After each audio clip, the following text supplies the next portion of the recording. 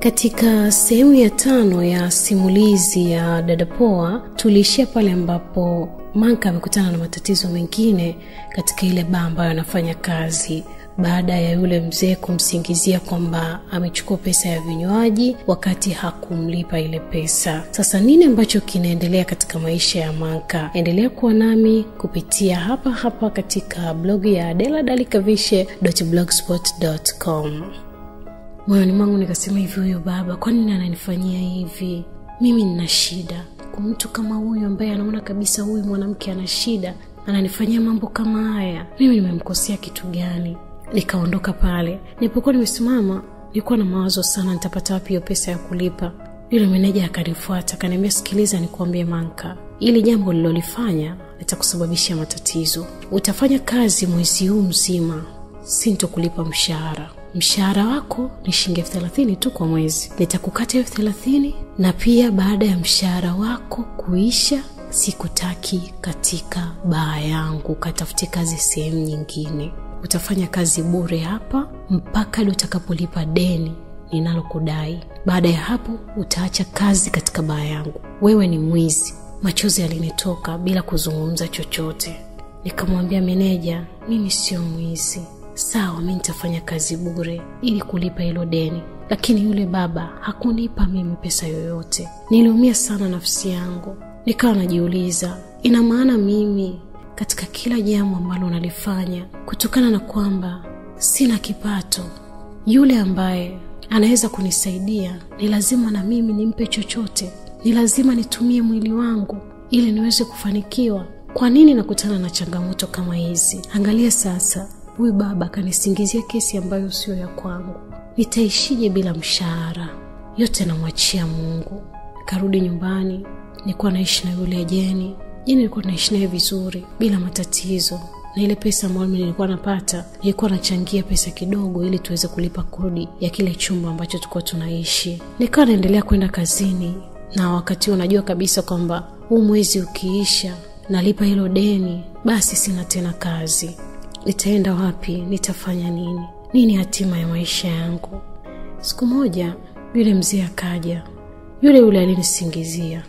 Akanikuta mimi nimekaa tu kwenye kiti pale baa. Akasogeza kiti chake akakaa karibu na mimi. Akaniambia nilikwambia kwamba huwezi kuwa mjanja hapa mjini. Umetukuta wazee wa mjini. Sasa una siku ngapi za kazi hapa katika hii baa? Si unasimamishwa kazi wewe naweza kukusaidia kama utanikubalia ombi langu. Manka nachokitaka kutoka kwako ni penzi lako tu na kulipia hiyo pesa na nakupa pesa nyingi zaidi. Nilimtizama yule baba nikamwambia hivi kweli unaweza ukanisingizia kitu ambacho sio? Yaani mtu akikutizama wewe mzee anaweza akakuheshimu sana. Lakini kumbe una roho mbaya unaniona kabisa nina shida. Nipo hapa kwa ajili ya kutafuta pesa niweze kujikimu. Lakini mwisho wa siku unanifanyia mambo kama haya. Unanisingizia kitu ambacho sijakifanya. Inaniuma sana. Asante sana baba yangu. Yule mzee akacheka akaniambia kwamba unajua wewe ni mjinga sana na ujinga wako ndio umaskini wako. Eti unalialia oo mimi na roho mbaya. Mi na roho mbaya nataka nikujengea maisha mazuri. Tizama wasichana wengine wanaendesha magari mazuri wanaishi kwenye nyumba nzuri wana pesa nyingi na utabaki hivyo hivyo. Mi nakuambia wewe ni mjinga. Moyoni mwangu niliwaza nikasema hapa bora tu ninyamaze kimya kwa sababu huyu mtu anaonekana si mtu mzuri. Nikaondoka nikaendelea na kazi zangu. Sasa hapa nilipo nafanya kazi bure tu ili niweze kulipa hiyo pesa ya watu. Nashukuru mungu kuwa na rafiki kama jeni jeni alikuwa ni rafiki yangu zaidi rafiki. Yaani alikuwa ni kama ndugu. Alinijali katika kila kitu hakunitupa. Mara nyingi alikuwa akinishauri na kuniambia kwamba manka usikate tamaa. Hizi ni changamoto tu za maisha. Ipo siku itafanikiwa. Siku moja nikiwa pale kazini katika ile baa nikiwa nimejiinamia tu alikuja dada mmoja huyo dada alikuja na gari aina ya rava 4 akaniita mimi kwa sababu pale ambapo nilikuwa nimekaa wenzangu wale ambao ni wanawake wenzangu ambao tunahudumia pamoja walikuwa hawapo pale. Kwa hiyo akaniona mimi akawa ananiita. Aliniita lakini nilikuwa simsikii vizuri sababu nilikuwa na mawazo sana. Baadaye alinyanyuka na kunifuata hadi pale kwenye meza niliyokuwa nimekaa. Akaniambia anti mimi nakuita. Mbona hauji kunihudumia? Una matatizo gani? Nikamwambia samani sana dada yangu nilikuwa sija kusikia na kuja kukuhudumia. Basi nikanyanyuka nikamfuata kwenda kumhudumia alikuwa ameagiza soda pamoja na chipsi kuku jikoni nikaenda kule jikoni nikachukua chakula. Wakati nikaa nimletea kile chakula kwa bahati mbaya niliteleza nikamwaga kile chakula. Nilihisi kama kuchanganyikiwa nilitetemeka nikijiangalia sina pesa yoyote alafu nimemwaga chakula cha mteja. Na pale pembeni meneja alikuwepo. Akaiona ile hali. Moja kwa moja akaanza kuniropokea. Mjinga sana wewe mwanamke. Yaani we manka uondoke leo leo. Sitaki kukuona kabisa katika baa yangu. Nilikuwa natetemeka nikamgeukia yule dada nikawa namwomba msamaha naambia dada naomba nisamee samahani nimemwaga kwa bahati mbaya. Yule dada alivyonitizama kwa hali niliyokuwa nayo huku machozi akiwa nanilengalenga roho ya imani ikamjia. Akaniambia kwamba nisijali hiyo pesa atalipa tu. Nilimshukuru sana. Baadaye yule dada akaniita akaniambia mjo ningependa ukae hapo ningependa kuzungumza na wewe. Akaniambia anti tokea nimekuja hapa unaonekana una mawazo sana. Je una matatizo gani? Nikamwambia kiukweli dada yangu mimi nina matatizo mengi mno. Hapa nilipo sijui nini hatima ya maisha yangu. Basi nikamsimulia kila kitu yote ambayo amenitokea huyo dada alisikitika akaniambia manka kiukweli nimekusikiliza kwa makini. Matatizo yako yamenigusa sana. Wewe ni mwanamke mwenzangu. Ningependa kukusaidia. Mimi naitwa mamalisa nina duka la vipodozi kinondoni. Naweza kukuchukua ukafanya kazi katika duka langu. Lakini nihakikishie uaminifu wako. Kwa sababu nyinyi wanawake unaweza ukaja hivi mikono nyuma unaomba una shida mwisho wa siku ukaja ukanifanyia mambo ya ajabu.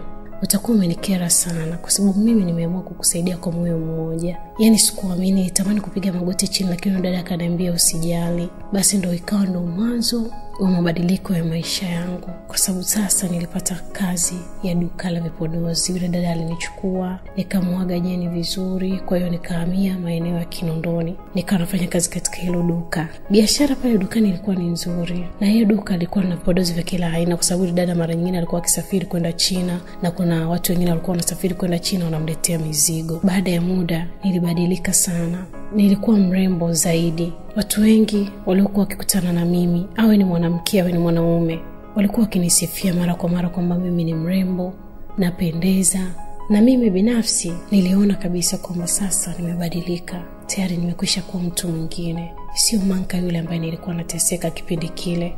Katika duka la vipodozi lilokuwa nafanya kazi kwa siku nilikuwa napewa shilingi elfu tatu ya kula na kwa mwezi yule dada alikuwa akinipa shilingi laki moja. Ni pesa ambayo mimi nilikuwa sijawahi kuipata nilikuwa nikiishi nyumbani kwake. Kwao nilikuwa silipi kodi yoyote. Maisha yangu yalibadilika niliweza kumsaidia bibi yangu kule kijijini. Kuna rafiki yake na mama lisa ambaye alikuwa anafanya biashara zake kutoka hapa dar es salaam na kwenda china kununua mizigo mbalimbali ya vipodozi nguo na kadhalika. Na yeye alikuwa na duka lake maeneo ya kariakoo. Huyo dada siku hiyo alikuja nyumbani.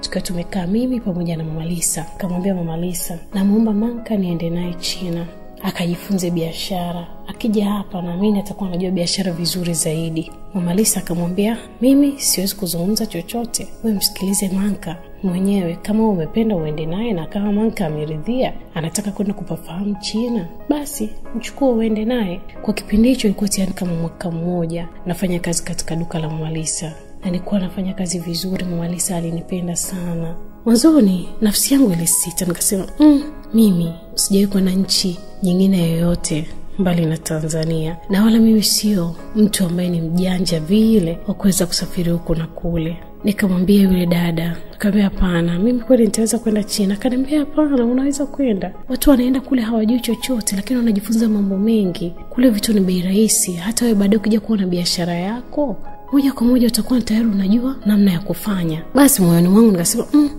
ni kweli ni kitu kizuri lakini nitapata wapi pesa ya kutafuta paspoti ya kulipa hiyo tiketi ya ndege kutoka hapa kwenda huko china nitaipatia wapi? Yule dada akaniambia usijali. Manka mimi nimekupenda sana. Na kwa sababu nimekupenda kama mdogo wangu nataka nikusaidie. Nitakutafutia paspoti nitakukatia tiketi tutaenda wote china na tutarudi pamoja. Kwa hiyo ni wewe tu mwenyewe kama uko tayari mimi nitaanza kukufanyia mipango yote. Nilijiona kama mtu ambaye nina bahati ya kipekee.